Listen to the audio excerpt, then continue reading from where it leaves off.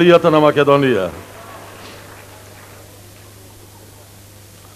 Кога човек ќе тргни од градо Битола, да оди кон сандалијата на Македонија, мислам на Скопје, и не са ќе че помини низ едно големо населено место што се вика Прилеп. Намерно за моето родно место не велам ни дека е град, ни дека е село.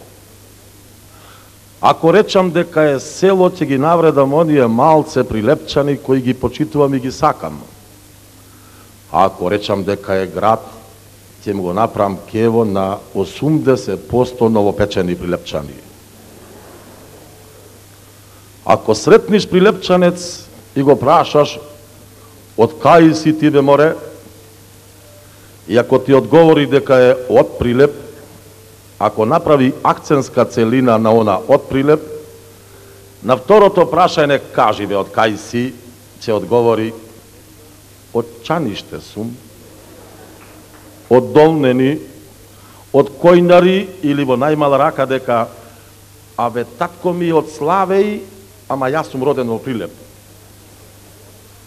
Човеко не е кабај дека татко му е роден во Славе и туку тој се родил во Прилеп, учел школија, завршил факултет во Скопје и останал мисир.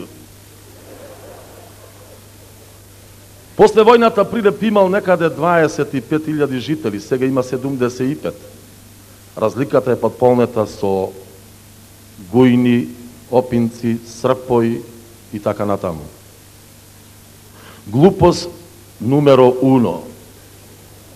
Одам ка сапница, а одам комши да едно кило и пол мелено. Нема проблем, вика за тебе глумец. А одам пари од плата. Ајде, вика, ве лесна работа, само малце ви давале таму пари. А одам малце, толку ќе и под забама и дава. А вика, глумец, како се вика овој театаров наш, Војдан че на Дрински мој. Абе, ова Војдан не ми е прилепско име. Не е. Тоа е млам од кај Дебарско едно село. И шо бил позанает? Волам Шнајдер. Море, вика мајката, театаров наш. Кај да речеме не е прилепчанец, селанец и плюс то Шнајдер.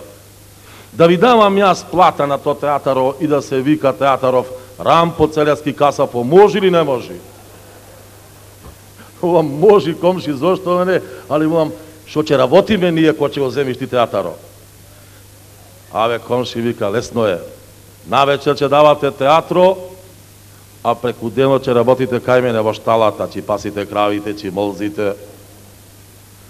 Улам комши, тоа сето добро, али тие глумици и глумци што нема да бидува за молзење на крави што чепра.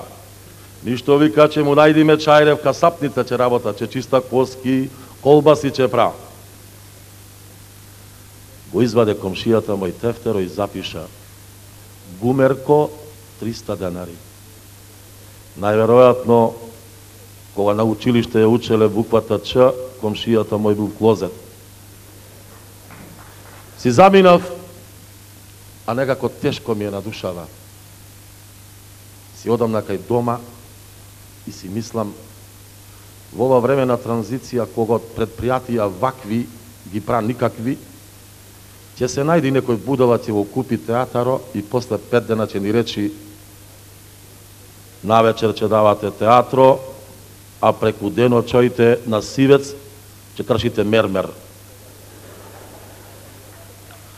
Тешко ми е на душава, грудка ми е, си одам за дома, а баба ми, Бог да ја прости, велеше вака, внучко, која ќе ти е тешко на душата, ќе ми кажеш само мене. Ако ќе ти е убо на душата, па не кажувај никому, сите ќе вида. И еве сега мене, тешко ми е на душава и мачно.